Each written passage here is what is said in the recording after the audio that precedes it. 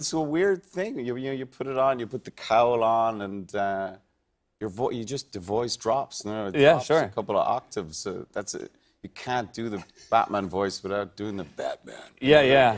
that's, the... that's why I couldn't do it because I'd be like, "I'm Batman." They'd be like, "No, you're not."